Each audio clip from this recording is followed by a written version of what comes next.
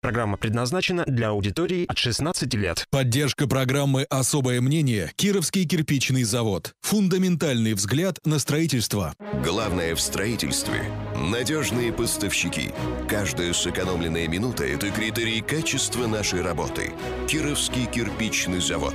Верный и ответственный партнер на пути к вашей цели. Киров, Луганская, 59. Телефон 761 500. Особое мнение на 101 FM. Да, особое в эфире. Добрый день, меня зовут Владимир Сметанин. Со своим особым мнением сегодня в нашей студии Валерий Турула, руководитель Ассоциации защиты прав малого и среднего бизнеса, президент некоммерческого партнерства биотехнологический кластер Кировской области, депутат УЗС прошлых созывов. И тут еще можно продолжать еще представлять. Валерий Николаевич, добрый день. Добрый день. Напоминаем слушателям о том, что на сайте кирова.ру есть видео и аудиотрансляция нашего эфира. Есть специальная форма для того, чтобы вы могли задать свой вопрос гостю особого. Кстати, вопросы есть парочка, я чуть позже их вам озвучу. Угу. Но пока что называется «Куй железо, пока горячо». Вот несколько минут назад закончилась, закончилась программа «Дневной разворот», и мы э, проблемы предпринимательства... Я том... почувствовал, здесь горячая да, обстановка да. была. Да. Про проблемы предпринимательства нашего обсуждали обсуждали вместе с Андреем Усенко и Андреем Вавиловым. Судя по их словам, ну, пациент скорее жив, чем мертв. Хорошо, что не мешают. И все-таки вы тоже ваше экспертное мнение по поводу предпринимательства его жизнеспособности в настоящий момент в нашем регионе? Э, я несколько только аспектов посвящу для того, чтобы диагностировать состояние здоровья пациента. Э, ну, первый пример. Э, в ноябре месяце состоялся съезд, второй съезд предпринимателей Кировской области, который принял достаточно серьезные решения и так далее. Мы их отсылали во все инстанции, просили Федеральный встреч, в том числе? В том числе федеральный угу. уровень власти, в Министерство экономического развития, развития Министерство Э, промышленности и торговли Российской Федерации, в том числе в наше правительство. И самое удивительное то, что наше правительство Кировской области, оно просто не обратило на это внимание, на те документы, на те вещи, которые, в общем-то, обсуждали предприниматели, делегаты из, 25, из 29 районов. Mm, а каким 20... образом оно должно было обратить внимание? Как а, реагирует? Присланы документы для того, чтобы они могли высказаться, принимаются эти документы, не принимаются, где точки соприкосновения есть. Более того, то есть мы вы потом... отправили, и как-то это бесследно все... Бесследно. Без всякого э, реакции. реакции да. Мы тогда попытались проинициировать э, советом, координационным советом съезда предпринимателей, который избран съездом был как руководящий орган до следующего съезда, который должен выполнять принятые mm-hmm. решения. Да. Мы попытались э, организовать встречу сначала с губернатором, ноль эмоций для согласования позиций. Потом попытались э, с Куземской. И до сегодняшнего Одна из заместителей дня, да, которая ведет и отвечает да. за данное направление. Э, сначала с Кочетковым пытались встретить, потом с Куземской. И до сегодняшнего дня, а какой уже месяц идет у нас? С ноября? Ну, полгода ну, прошло уже. Больше, больше, да. больше, больше полгода прошло. А поэтому говорить о том, э, интересен ли предмет Э, для нашего правительства э, с точки зрения эм, ну, пациента, да, mm то, наверное, мы можем отсюда сделать определенный вывод. Скорее всего, нет. Не глухая интересен. стена. Вы почувствовали да, глухую да. стену. Скорее всего, нет. А второй пример приведу. Значит, мы провели определенную учебу для малого бизнеса, для того, чтобы в новых условиях адаптировать предпринимателей. На инициативной основе прошла учеба на наш взгляд, она была хорошая в январе месяце. Угу. Дальше э, по цепочке попытались районные предприниматели в районах организовать аналогичную учебу, либо хотя бы встречи э, информационные э, у себя в районах. Э, Арбаш состоялась встреча, а дальше все было заблокировано. Это как? Ну, очень просто. Кордон, Луза, э, с Лободской, попытки предпринимателей на местном уровне организовать такие встречи, где довести информацию перспективного характера, адаптировать предпринимателей к тем тенденциям, которые имеют на сегодняшний день, э, поставить вопросы о кооперации, о возможности взаимодействия и так далее и тому подобное. То есть ну, дать некие вектора угу. программного характера на соединение усилий и снижение стоимости продукции, производимой э, предпринимательской средой, мы начали блокироваться. Подожди, что значит, что, что значит блокировано? Блокировать как, как местные как, администрации, как, они просто было? стали закрывать двери, предприниматели от, от, э, отодвигают, Нет, говорят, нам это на, не надо. Подождите, вы на какой-то площадке хотели собраться, Конечно, да? в каждом районе. Вот как в, Арбаже приехали, на площадке администрации собраны предприниматели, которые, вы сказали, больше живы, чем умерли, да? Мы с ними провели переговоры и представили им возможность. Это другой вопрос, примут они эту информацию или не примут. Но представить возможность довести нужную информацию, э, в Арбаже это удалось. А дальше начали блокировать районы, они не соглашаются. Не пустили, что ли, просто? Конечно. Да нет. Не согласились проводить Мы схему, у себя? Схему-то изменили. Мы сказали, тогда приглашайте, потому что информация нужная. На примере того же Арбажа. Это надо делать. Приглашайте. Не я туда еду и говорю, здрасте, я ваша тетя, вот я хочу что-то сказать. А это свидетельство о том, что никому это что? Не надо, они не приглашают. Она тема-то ясна, она уже распространена. Ну, сейчас распространили анкету определенную для того, чтобы определ... э, ну, сделать и вскрыть ту проблематику, которая на сегодняшний день Анкету волнует предпринимателей. Для, для кого? Для предпринимателей по всей Бизнес-перепись вы имеете в виду? Нет, что? анкета предпринимателям анкета? была распространена, что, как, как они видят, куда видят, к чему можно стремиться и так далее, ну, чтобы не останавливать этот процесс. Областным правительством было организовано? Так, здрасте самими предпринимателями. А, самими предпринимателями. Конечно. Но благо э, мы обратились к Чаузову, Чаузова э, поддержала эту идею да, и помогла в этом отношении распространить. Но инициировал-то не правительство, ничего. Мы продавливаем эти вопросы, которые должны постоянно муссироваться. А со стороны правительства мы получаем соответствующие отписки. А у нас уже все вопросы решены. Формы поддержки предпринимательства такие-такие-то известные, но при этом умалчивается, что ряд форм поддержки, которые были раньше, они они ликвидированы. В частности, инновационной деятельности и так далее. Там, потом, грантовые поддержки. там были, да, в том числе? Да, грантовые угу. поддержки, да, они все ликвидированы. Поэтому вот э, строить иллюзии, что э, скорее... Вы третий, жив... третий еще пункт не назвали или назвали? Нет, я два, два примера просто два примера. назвал. Да, я два примера назвал, но я могу и другие примеры называть, э, э, связанные э, с тем же вопросом. Если вот э, сегодня утром э, заместитель Мантурова выступал о том, что сфера торговли, там там усовершенствовать, вноситься будут изменения э, в закон о торговле и так далее. Мы будем стимулировать развитие малого предпринимательства, нестационарной торговли, и у меня сразу настроение испортилось. Каким образом бомбили этот э, Ну, эту ярмарку. эпопею, эту эпопею да. мы все помним. Да, и вы нет, там, так слушайте дальше. И вы там были э, чуть, чуть а ли не, не самым процесс основным так э, уголовное дело, доследственная проверка показала, что состав преступления уголовные признаки уголовного уголовное дело есть, но до сегодняшнего дня дело уголовное не возбуждено. А э, около 70 объектов были разгромлены и уворованы без решения суда у профсоюзной организации малого предпринимательства. И я так рассчитывал, что новое правительство придет, э, как сказал нам губернатор, мы наведем элементарный порядок, да? Mm-hmm. А где этот порядок? Ни прокуратура, ни полиция, ни губернатор, ни его заместители не реагируют на то, что был осуществлен беспредел по отношению к предпринимателям.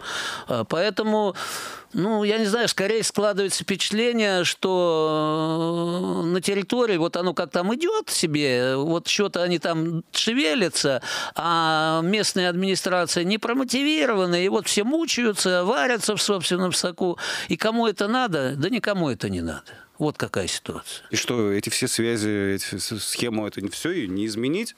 Почему? Бесконеч, я, я, например, я рассчитываю, стену, нет, но в данном отношении э, вот завтра состоится у нас президиум Ассоциации защиты прав малого бизнеса. Mm. Мы будем этим, э, эти вопросы обсуждать.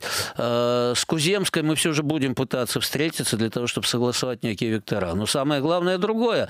Мы взяли за основу своего поведения тренды, которые существуют на федеральном уровне, учитывая, что у нас никаких трендов нету, да, взяли их адаптировали Поясните, наши, что это такое? Ну, тренды, это есть... Нет, что, поведение-то я имею в виду. Поведение... Как будете себя э, ну, позиционировать? Э, есть э, на федеральном уровне, существуют определенные направления, которые названы приоритетными в развитии предпринимательства. Мы их взяли, трансформировали на нашу территорию без согласования с областью и пытаемся формировать э, соответствующие действия, бизнесы, ну, скажем, кооперации, производства органической снизу, продукции. Да, снизу да, да, да, да. Ну, ну, ну, а что делать-то? Угу. Что делать-то? Как? Вот и делаем там пилотные проекты, сейчас запускаем, фермерские подразделения. Помните, мы тогда поднимали вопрос органического сельского хозяйства, да, и когда угу.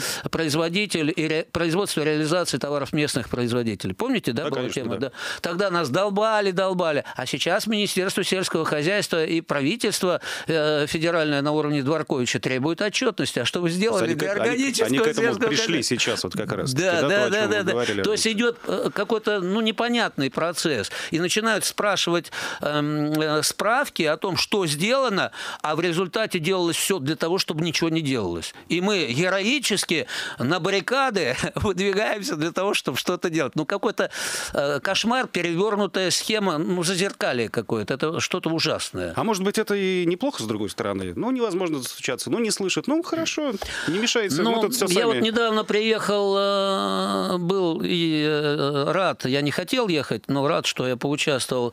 Э, была вторая международная конференция кластеров, были представители зарубежных кластеров, наши кластеры. И там звучала одна очень серьезная тема. Ну, кому это интересно подробнее, они могут в интернете посмотреть. Она называется тема тройной спирали. Смысл ее заключается в следующем. А двигателем развития э, территории государства может являться только малый бизнес. Это первый посыл. Второй посыл. Э, драйвером развития этого малого бизнеса является наука, университет. Угу, угу. И третий посыл, что это должно синхронизироваться с органами власти.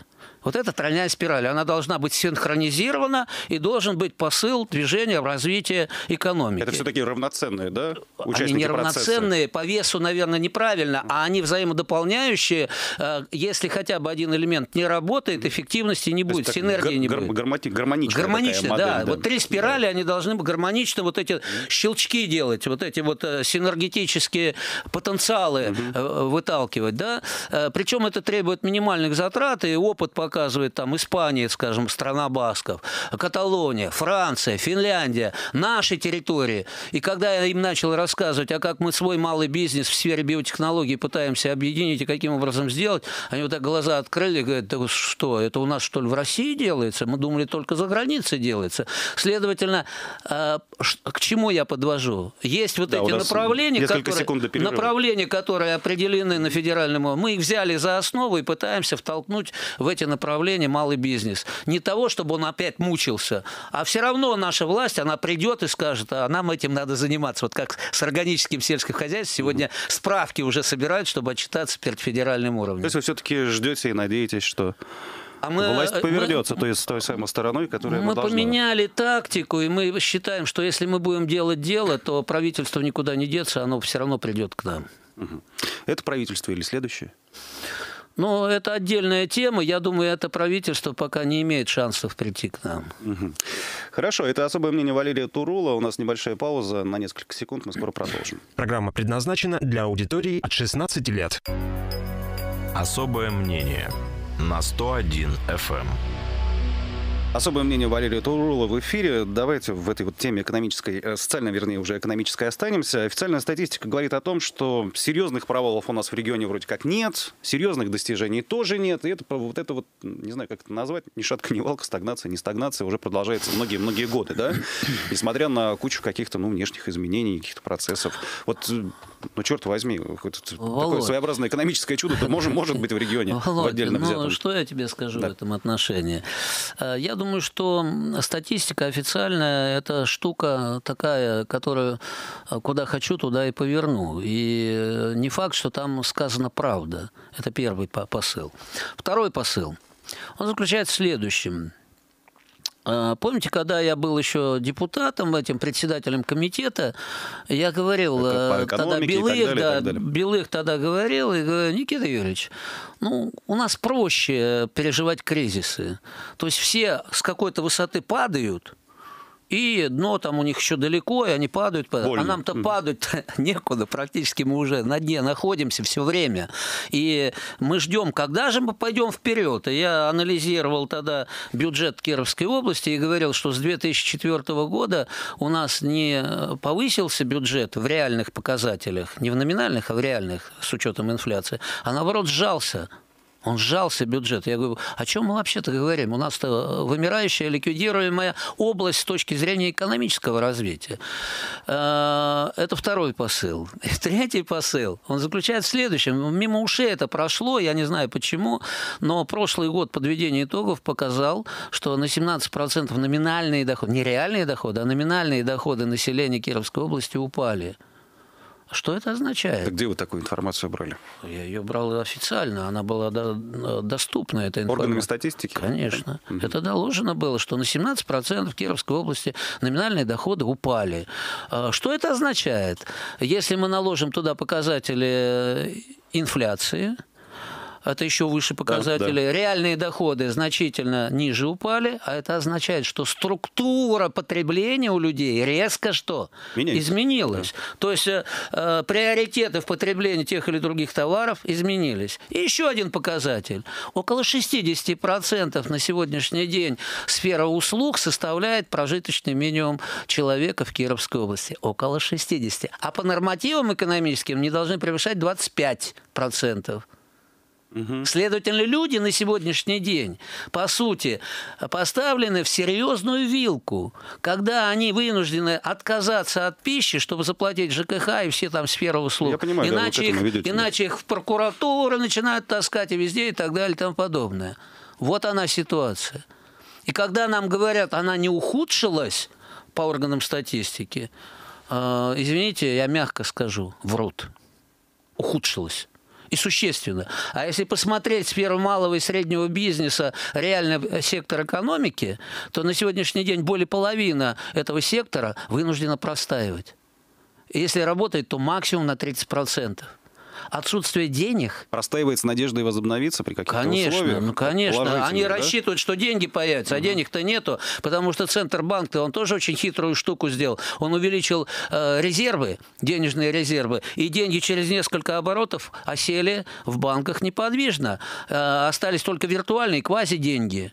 Все, денег-то нету, а люди-то покупать в магазин-то ходят за реальные деньги, которые они должны получить, а на 17% упали, а каждый рубль должен 5-6 раз обернуться в течение года по товарообороту. Вы можете представить, на какие суммы мы упали вообще в реальном э, реализации продукции. В сферу услуг деньги уходят. Но там начинают еще и кислород перекрывать. Ну все, что ли, в тупик зашли, все? Я думаю, дно? что да. Я думаю, что да. Дно, я не думаю, что это уже дно.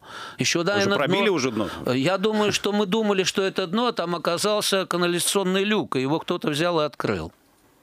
Мы коснулись дна, но кто-то открыл этот канализационный люк. Мы дальше падаем. Какая там глубина, я не знаю, что там за коммуникации такие, понимаете, да?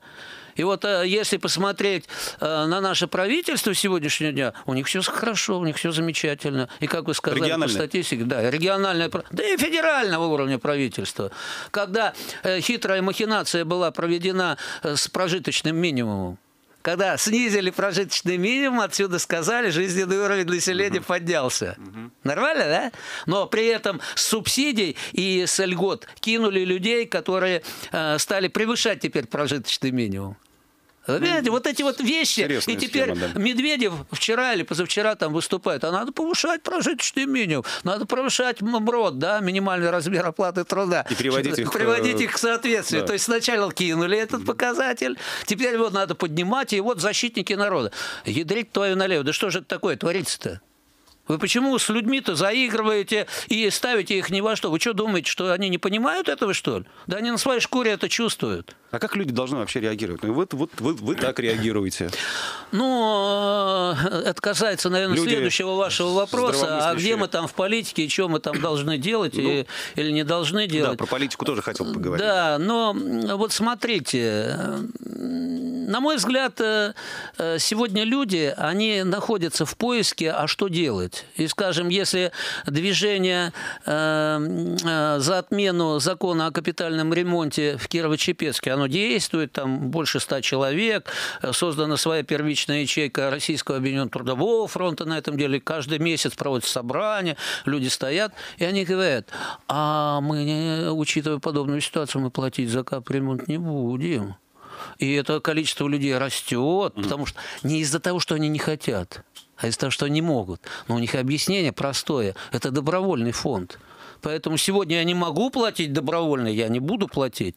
Но дальше на них начинают наступать, а люди совместно разработали уже тактику и стратегию в судах, в прокуратуре и так далее. Там, и суды-то они выигрывают. То есть к ним приходят судебные приставы с судебным приказом, а они не соглашаются с этим, и суды отменяют Вы эти как-то приказы. специально это... э, Конечно, эта работа нет, идет нет, уже я- два года. Вы мониторите, да, это? Конечно. Занимаетесь этим Конечно, мы этим занимаемся. У нас группа юристов этим занимается. А почему в Чепецке, почему не в областном центре? А вот э, ситуация, вы, наверное, помните, что Кирово-Чепецк в свое время отказался за капремонт платить практически полностью. Помните, это Ну, скандал были был? серьезные, да, Да, да, да, вот движения, митинги, захват чуть ли этого городской администрации был. И э, я Это тогда... было в 15-м был- году это Да, было, я да. был депутатом, и я сказал, ребята, мы вас не бросим, давайте я вас поддержу, и будем выходить на цивилизованное русло. Как правильно это все делать, для того, чтобы государство э, не обеспечило обдираловку вокруг вас.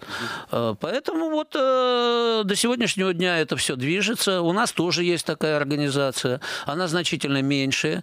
Э, Но тоже есть э, неплательщики, которые объединились вот в эту группу. Они разработали несколько вариантов, как правильно повысить ответственность за капитальный ремонт государства. И говорят, мы будем э, платить в капремонт при условии гарантии, государственной гарантии, что он будет осуществлен. И по факту осуществления этого капремонта. Ну, по принципам ипотеки и так далее. Целые схемы были предложены, они отправлены Хованской, там, в Государственную Думу и так далее. Там. Другое дело, что опять молчат. Схемы-то предложенные. Активизировать, наоборот, капитальный ремонт и сделать его качественным, прозрачным и так далее. Тому подобное. Нет, не идут на сегодняшний день на эту схему власти. Ни местные, ни э, областные, ни федеральные.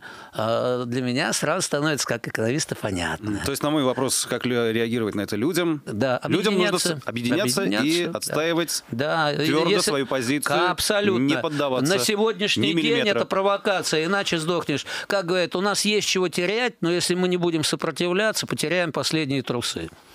Есть такая поговорка. Да.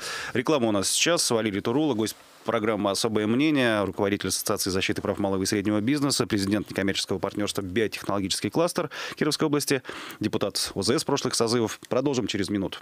Программа предназначена для аудитории от 16 лет. Особое мнение на 101 FM. Продолжаем наш разговор с, разговор с Валерием Турулой. Я все-таки должен сдержать обещание и озвучить вопрос, составленный на сайте хакирова.ру.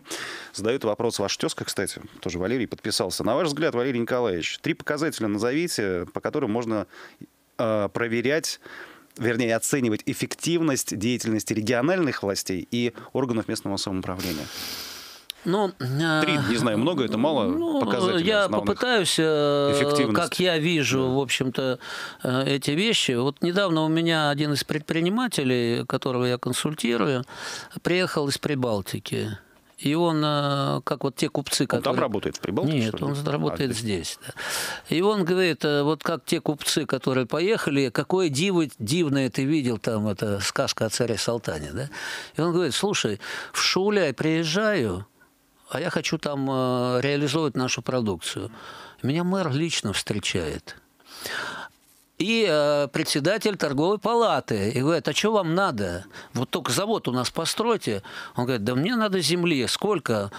Ну, он говорит, ну, не знаю, он говорит, гектаров 20. Они говорят, вот 100 гектар, полтора миллиона рублей платите. Всю инфраструктуру мы берем на себя подвести, только стройтесь. Полтора миллиона. Пель- Рублей. Где 100 гектаров? Евросоюз. Евросоюз, Евросоюз. да, Мгм. Прибалтика. А, Дальше он говорит, э, э, они говорят, мы вам и кредитом поможем. Он говорит, а какие деньги? 200 миллионов даем э, под 4% годовых. И вот он приехал, он в шоке. И говорит, что ж мы такое видим-то? Но самое интересное, он сказал следующее. А почему же, говорит, ко мне такое было большое внимание со стороны властей? Оказывается, ларчик просто открывается, они находятся на хозрасчете. Экономика работает, зарплаты повышаются, жизненный уровень повышается, значит, жизненный уровень чиновника повышается. Значит, первый показатель Это чиновник должен... Заинтересованность личная, Абсолютно. глубокая заинтересованность. Средний заработок лю- повысился, и у тебя повысился. У него повысился, и у тебя повысился. Но не наоборот.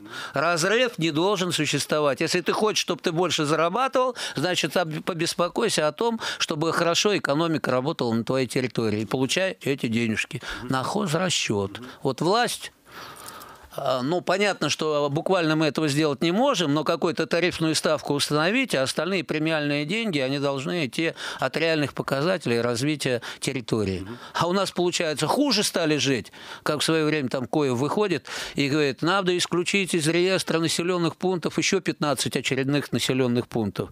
Все исключили, хорошо поработали. На 15 населенных пунктов стало меньше, да? Хорошо. Да. Критерий номер раз. Да. да, Номер один.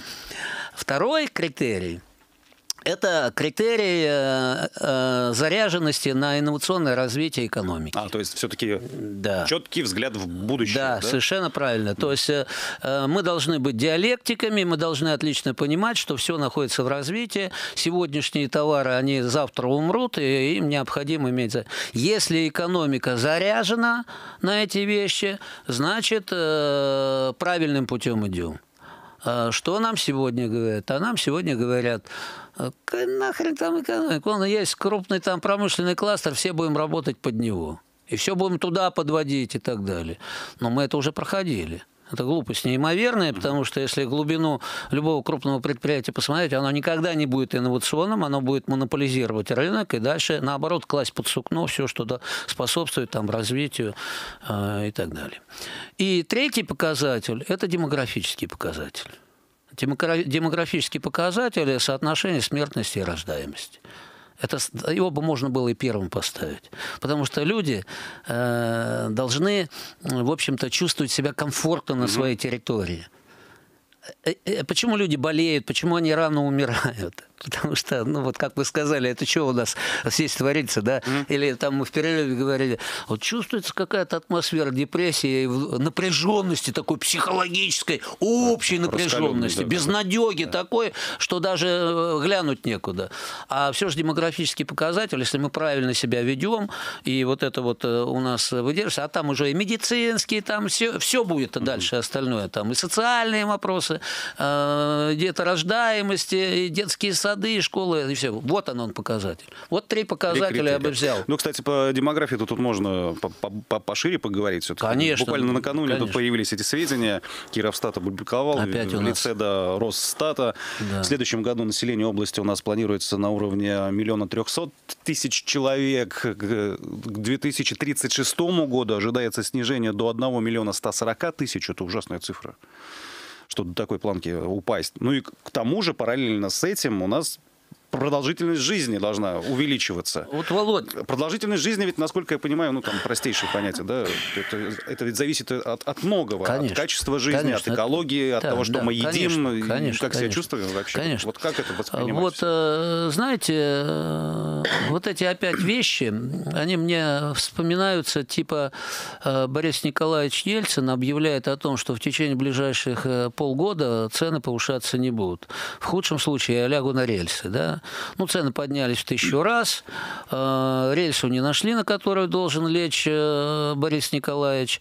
Наверное, она золотая или бриллиантовая должна была быть, по качеству не та. Вот. э, Поэтому мне напоминает аналогичную ситуацию и здесь. Вот мы сегодня до 35 года там повысим жизненный уровень э, до 76 лет. Я еще удивляюсь, почему не до 92 там, или 95. Ну, Тогда мы Да. впервые в мире будем. Да, у нас нет, сейчас Япония, у нас а Япония же дальше-то к этому 85 лет. году э, либо шаг умрет, либо и шаг сдохнет. Ну, что тут во- вопрос? Что надо, то и нарисуем, господи боже мой.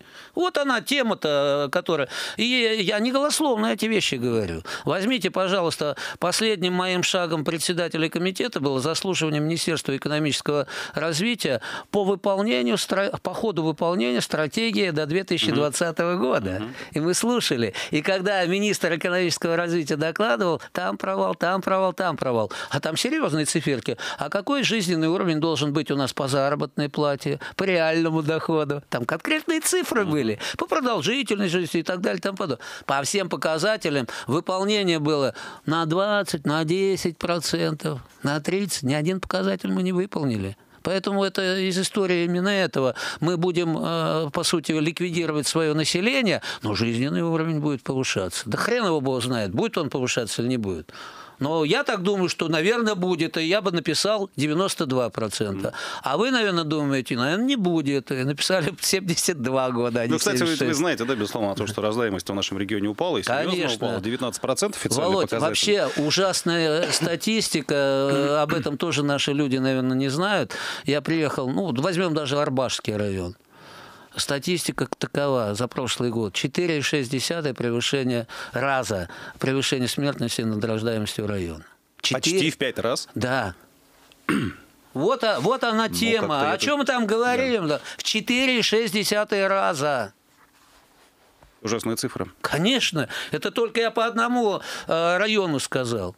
А если мы скажем те же самые выборные кампании и так далее и тому подобное, да, то посмотрите, в Котельнический район приезжаю и говорю, ребята, а сколько у вас э, избирателей э, зарегистрировано на, э, в районе? 20 тысяч. А сколько реально живущих? 12 с половиной, ой, 16 с половиной тысяч. Я говорю, откуда у вас 3,5 тысячи-то взялось? Как объясняют? А никак. Вот говорят, нам дали команду, оно у нас и сделано в списке. Вот так оно сделано. Поэтому э, нарисовать э, количество – это тоже такой относительный показатель. Да? Представить официально, кто там проверит. Что ты будешь ходить, проверять, что ли? Данные такие. Да, У нас остается буквально несколько минут до конца э, передачи. Я бы хотел сосредоточиться на городских делах. Да? У нас сегодня такое особое ваше мнение получается. Мы с критикой выступаем. Но вот городскую власть, ну, с конструктивной критикой, поясню. Городскую власть можете за что-то вот похвалить за последний год, не знаю, что сделано было? Ну, во-первых, я очень неплохо знаю Александра Викторовича, да, Перескокова. Да. Вот. Причем достаточно неплохо. И знаю стиль его работы и так далее. И, на мой взгляд, вот эта система его жесткого администрирования, она, в принципе, неплохая система. Но если она по содержанию гуманная и гуманистическая... Простите, как это тут недавно, да, совещание это было оперативное. Счетчик он там поставил, да? Да, да, да. Счетчик 33 дня до Дня города, Дня России, вы должны все сделать. Да, да, да, да. То есть, э, если это гуманная и разумная такая рациональная вещь, э, то, наверное, я бы две, две руки поднял и сказал, «Э, Александр Викторович, давай я еще мобилизую наш актив, и мы тебя поддержим, надо там митинг проведем. Тряхнем, там- в общем. Да, тряхнем, блин, да наведем порядок и так далее. Там. Но как-то оно вот однобоко выглядит. Э, Наведем порядок, но на определенных улицах там, да. Э, А дальше люди начинают думать, а почему на этих улицах, а не на этих улицах? Ну, наверное, потому что там основная масса вот этих наших живет, э, э, ну, боссов или как их там назвать. Власть придержащих. Да, власть придержащих или кто-то своих и так далее и тому подобное. Поэтому вот эти вот вещи, я понимаю, что объять необъятное невозможно, да, но э, как-то они должны носить э, вот этот вот социальный характер э, признательности, общественной очередности, там, где люди сами сказали, давайте это сделаем и так далее. Ведь как бы мы там... Никита Юрьевич, он подлец. Я в этом не сомневаюсь. Но умный подлец. Он очень умело манипулировал вот этими вещами, когда там э, инициативы снизу шли там людей. Он понимал, что бюджет э, на всех Проект не хватит. местных инициатив, Да, имеете да, да. Бюджета на всех не хватит, а где есть инициатива, она говорит, вот там есть инициатива, мы туда дадим. Так А ведь вам- заработало. Да, конечно, работало. Заработало. А И дальше работает, вот, народный богу. бюджет он делал, там ко- копейка на копейку, там добавлял. 3 миллиона, по-моему, Да, да, э, да. людям давали Да, и люди вкладывались, и он увеличивал бюджет. И таким образом он маленькую такую э, вещь превращал в достаточно большую, объемную и по по- порождал некие инициативы. А, Ну, я его критиковал за это, говорю, а почему людям-то всем положено, у нас среднестатистически э, наполняемость бюджета идет на каждого жителя, а почему ты у одного забрал, отдал другому? тема-то должна быть равная, справедливая и так далее. Ну вот он находил такие механизмы.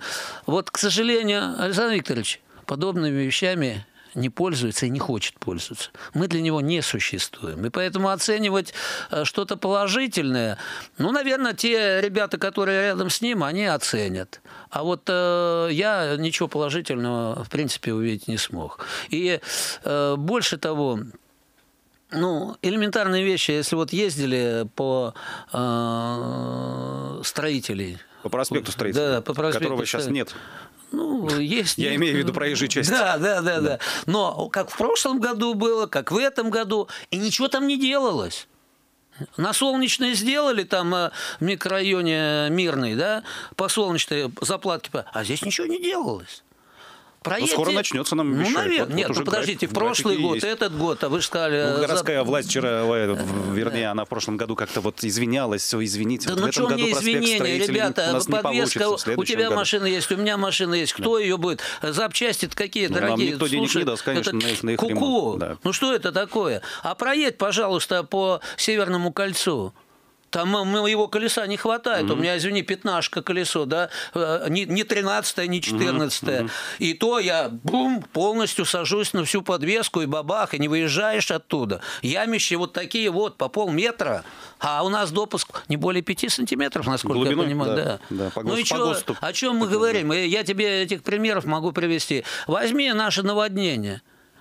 В Паводок, прошлом году паводок в да, паводок, возьми. Э, Красная звезда. Что в прошлом году мы не сигнализировали, мы не говорили, что, ну, отчитались и всем доложили, ребята, все меры приняты, устранены и так далее, больше подобного не допустим. Что творится там? Что творится там? Вот поедьте туда. на сюжеты уже были, да, звезду. я из сюжетов Да я знаю не только, ко мне да. люди приходили. Там же создано общественное движение. Когда появились вот эти вот, э, сначала на заплатки положили э, ковры, да, а это же решение-то было прошлого года.